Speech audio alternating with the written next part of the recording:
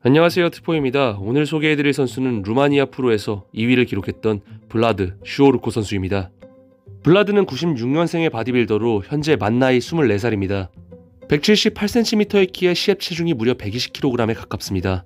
블라드는 보디빌딩 커리어 자체를 카멜크루에서 시작했다고 해도 과언이 아닌데요. 현재는 롤리 윙클라와 5년째 함께하고 있는 아하마드 아스카 코치와 2년째 함께하는 중입니다. 카멜크루는 블라드에게 아하마드 아스카 코치 외에도 정말 좋은 기회가 가득했습니다. 이미 올림피아 무대에서 실전 경험이 있는 탑급 프로 선수들과 함께 훈련을 할 수 있는 기회가 생겼고 블라드는 오프 시즌 동안 24살이란 나이가 믿기지 않을 정도로 엄청난 양의 근육을 붙였습니다.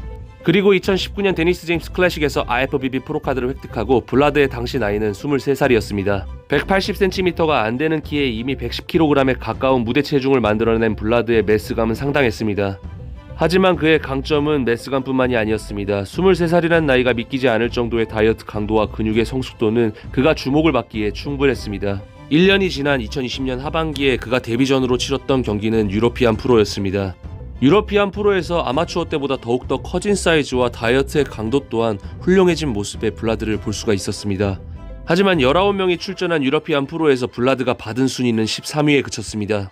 경기 직후 블라드의 사진과 시합 영상들을 본 보디빌딩 팬들의 반응은 블라드가 받은 순위가 불합리하다는 것이었습니다. 그만큼 블라드는 이미 실력적으로 보디빌딩 팬들에게 인정을 받아가는 추세였습니다. 하지만 탑급 프로와 경쟁하기에는 날카로운 conditioning 대비 후면에서의 너비감과 두께감이 조금은 부족해 보이기도 했습니다. 블라드가 선택한 다음 프로쇼는 바로 이어졌던 UK 그랑프리가 아닌 루마니아 그랑프리였습니다. 루마니아 프로는 2021년 미스터 올림피아로 갈 수 있는 qualification을 나눠주는 대회였습니다. 시작 전부터 지난 프로쇼에서 블라드에게 패배를 안겨주었던 선수들로 구성되어 있고 추가로 라이오넬 베에키가 복귀전을 치르는 경기이기 때문에 블라드에게 많은 기대를 걸 수 있는 상황은 아니었습니다. 하지만 블라드는 본인이 완전한 언더독으로 평가를 받아왔던 루마니아 프로에서 리건 그라임즈 다음인 2위를 기록합니다. 1위를 했던 리건 그라임즈와 비교를 하였을 때 후면에서의 전체적인 근육의 모양과 함께 너비감이 많이 부족한 모습을 보이기도 했습니다. 하지만 전면에서의 근육의 사이즈와 볼륨감, 대퇴 사두 근육의 분리도를 놓고 보았을 때는 전혀 밀리지 않는 모습도 보여주었습니다. 96년생으로 만 나이 24살인 이 바디빌더에게 많은 기대를 걸고 있는 바디빌딩 팬들이 많은 것 같습니다.